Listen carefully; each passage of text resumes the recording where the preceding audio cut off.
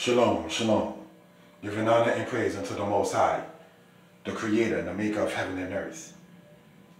This presentation is not going to be long, but we just want to go over something for Hebrew edification. When you see this here, it's the Aleph, the Mem, the Nun. Alright? In modern terms, they would say Nun Sofit. This right here simply is an arrow, saying from one to the other. This is the Aleph, the Mem, and the Nun, and what they refer to as ancient Hebrew. Now, the reason why I say what they refer to as brothers sisters, many would say P-A-L-E-O. Nonetheless, the word paleo simply is from the Greek word meaning ancient. The word paleo means ancient. So that's all that is. It's not really much deeper than that. All right. So now, this right here, spelling the word Amen.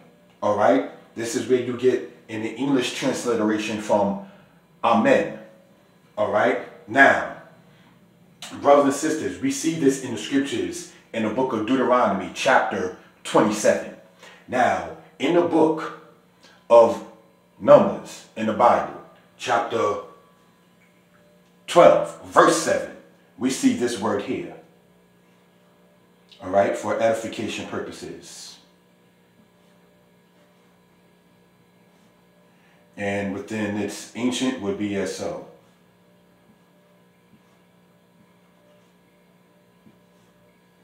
All right. Now, what this word here spells is the word ne'eman. Ne and. And what this means is faithful. Now, let's break this down. The word amen in Hebrew, it means to support, and it also means to be faithful. So basically, in theory, when you're supporting something, you're faithful. When you're faithful, you're supporting something. It's something shown in an action you understand once it comes down into that. Now, I just wanted to use these at this particular moment because there's a theory in a teaching that says that the Hebrew word amen comes from Egyptian, which it does not. And we just want to point that out for reason and purposes. All right? Let's look at this here, okay? Just want to show it a bit clearer within this book here. This here in the Hebrew is amen. This here in Egyptian is Inmun. There is no A in this. The A in Egyptian is shown as the bird or the vulture in hieroglyphics or what they call metuneta. But we don't see that in there. And this is Inmun, not Amen. In Egyptian, that word means hidden. H-I-D-D-E-N. We already explained, brothers and sisters, that in the Hebrew, this right here means to be faithful or to support. So not only is the meaning different, the pronunciation is different because the languages between the two are different. All right, so that's what we want to emphasize in that particular case. Another matter, brothers and sisters, concerning this situation here is when you go into the book of Isaiah, chapter 1, we see this word here, all right, and I'm going to write it on top.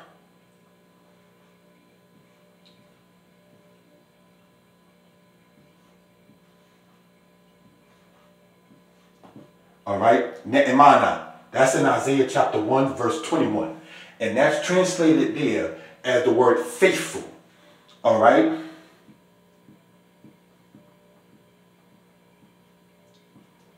Ne'emana. All right. Now, this is talking about the city of Jerusalem. And if you want to point out for reason and purposes, you have the Qamatz and the Hay, showing in many cases, as in this, the aspect of it being feminine. Because in Hebrew, brothers and sisters, it's feminine. When you go into this particular aspect, the city, Jerusalem, which is part of the earth, is treated in a feminine in Hebraic thought. So this is something we want to point out in that particular case. So right here we see Ne'emana, Aleph Mem Aleph Mem Aleph Mem It does not drop off. All right? So recapping, Numbers chapter 12 verse 7, you have Ne'eman, speaking of Moses as faithful. You have Amen in Deuteronomy chapter 27. right? And that's talking about the aspect of agreeing and or supporting. And then this right here, Ne'emanah, is the feminine of this. All right? So, and that's in Isaiah chapter 1, verse 21.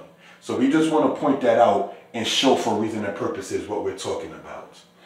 Alrighty, the description of this video will have my contact info. Don't want to make this a very long or tedious video, but just wanted to point that out for reason and purposes. Alright, because there are even sadly Israelites who are saying we shouldn't say amen. And this is why we want to emphasize this even to the house of Israel and abroad. Alright, shalom.